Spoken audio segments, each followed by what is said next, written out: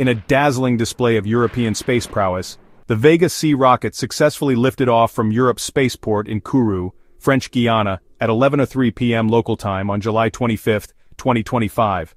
Operated by Arianespace, this mission, designated VV-27, marked the fifth flight of the Vega C and carried a payload of five satellites aimed at enhancing Earth observation and climate monitoring capabilities.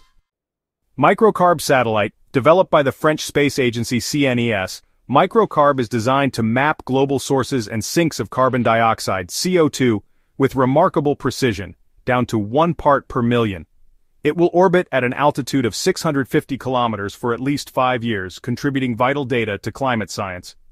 CO3D constellation, comprising four Earth observation satellites, the CO3D Constellation Optique en 3D, was built by Airbus and will operate at 502 kilometers altitude. These satellites will generate high-resolution three-dimensional maps of Earth's land surfaces, supporting applications in urban planning, hydrology, geology, and civil security. The Vega C rocket, standing 35 meters tall, used its four-stage configuration to precisely deploy the satellites into sun-synchronous orbits. The CO-3D satellites were released about 57 minutes after liftoff, followed by microcarb roughly 44 minutes later. This mission also demonstrated the continued reliability of Vega C following its recovery from a 2022 launch anomaly.